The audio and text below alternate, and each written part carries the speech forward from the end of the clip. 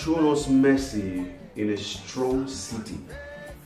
Breath of heaven has breathed on us. In anything that you do, do it with all your might and make sure that you fill your room, your office, anywhere you find yourself with the joy of the Lord. Listen, I've seen the salvation of the Lord in a time and a trying time like this.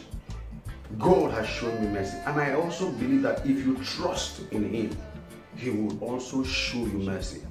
Don't bother about the mountains that you see, the valleys, the crossroads, the crooked paths. It is for your making.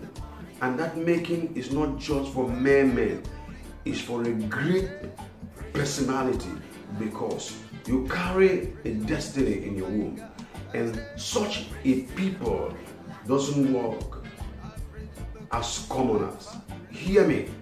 God has heard your voice where you're weeping. God has heard your voice where you are lifting up your voice and making demands pertaining the things that are weighing you down and your desire according to his will.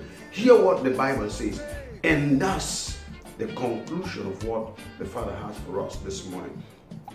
That's the book of Second Chronicles, chapter 6, verse 41. It said, Now therefore arise, O Lord, into thy rest, thou and the ark of thy strength. Let thy priests, O God, be clothed with salvation, and let thy saints and people rejoice in thy goodness. Listen, everything that pertains to your your your greatness, your joy this morning has been handed.